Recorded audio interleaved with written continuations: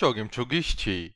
W tym odcinku zobaczymy sobie czołg wyjątkowy, czołg specjalny, a dokładnie EV-201 znany również jako A-45.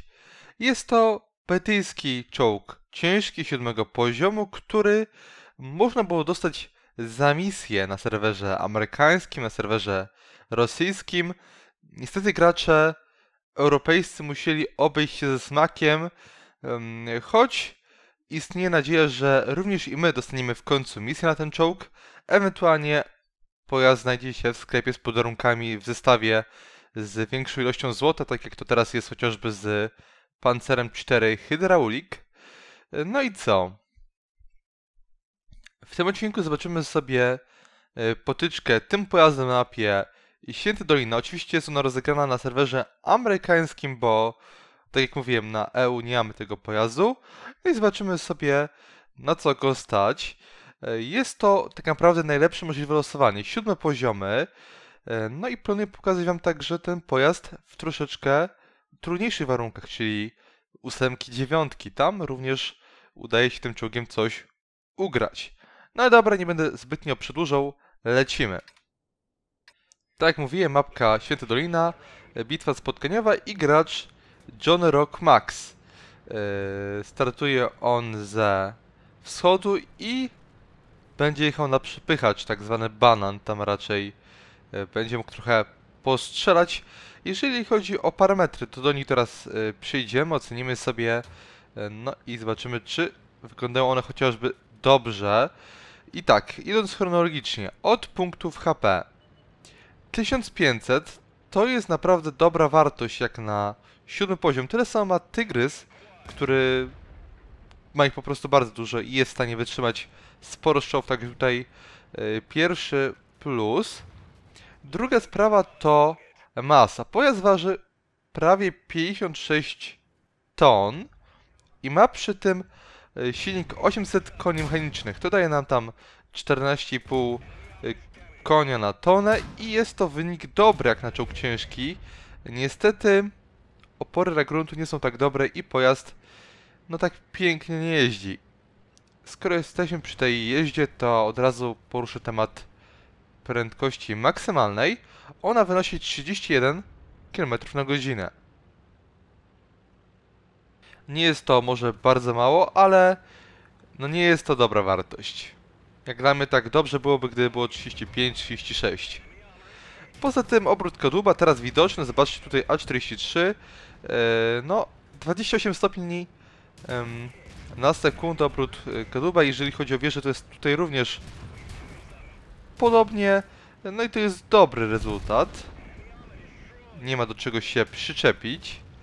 E, Jeżeli chodzi o pancerz, bo już widzieliśmy parę strzałów, ten czołg przyjął na y, klatę, chociażby od Kromela B, A4-3 i jeszcze od KW-1-2 przybicia.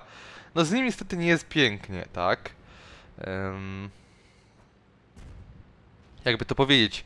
No mamy, zobaczcie, przednią płytę i ona ma y, 76 pancerzy. Niestety tutaj spód bardzo ładnie łap, łapie pociski, widoczne są dziury nawet tutaj, ale no jednak głównie tutaj będą pociski lądowały na tej dolnej płycie. Ona jest dość widoczna i każdy w nią strzela i przebija. I tam e, i razem na tym przodzie mamy 76, na boku jest 50 i z tyłu jest 38, czyli przeciętnie, co nie? Niestety przeciętnie. E, Z wieżą jest już dużo lepiej i tam mamy e, 152 na przodzie, 88 na boku i 88 em, z tyłu wieży, także tutaj już jest dużo, dużo lepiej i właśnie AT8 chyba od tej wieży się odbiło teraz. To samo KW3. Widoczny jest co prawda ten włas tutaj, no ale on nie jest duży i nie jest to aż taka duża wada tego pojazdu. Tutaj rykoszczet do T8 aż dziw, no i jedno pudło. Jeżeli chodzi o działko, to je na pewno kojarzą e, fani Challengera, fani Black Prince'a. Jest to 17-funtówka, która słynie z niskich uszkodzeń, przyzwoitej penetracji i wysokiej szybkoszczelności, czyli tak. Mamy 150 uszkodzeń, zobaczcie, pocisk AP. 171 przebicia. Jeżeli chodzi o godzik, tutaj penetracji jest naprawdę bardzo dużo. 239, do tego 150 dalej uszkodzeń. Jeżeli chodzi o heki, to ich raczej często używać nie będziemy, ale zobaczcie, e, 190 uszkodzeń i 38 e, penetracji. Jeżeli chodzi o zasięg odłamków, to jest lekko ponad 1 metr. Niewiele. E, Poza tym mamy czas przeładowania, który wynosi e, przy załodze 100% 4,3 sekundy. E, Po założeniu dosyłacza wentylacji udaje nam się dojść do około 4 sekund i to jest e, bardzo krótko. Także pojazd potrafi przygnieść e, wroga szybkoszczelnością. Duży plus. Niestety trochę smutno jest z celnością. Brytyjskie armaty zazwyczaj nam się kojarzą z wysoką celnością, że możemy nimi snajpić, jak to jest w Centurionie, Kernarwonie i tak dalej.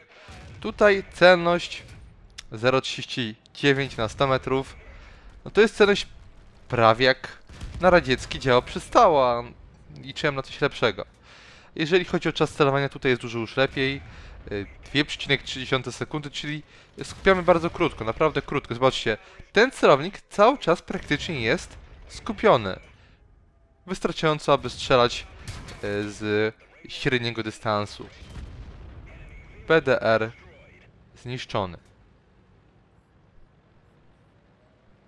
Jeżeli chodzi o zasięg widzenia, to siódme tiery powinny mieć w okolicach 370-380 metrów tego viewrange'a, y, przynajmniej heavyki. No tutaj mamy 380, czyli jest dobry rezultat. Czołg nie jest totalnie ślepy, no ale też nie jest mistrzem spotowania. Ale wynik dobry na pewno.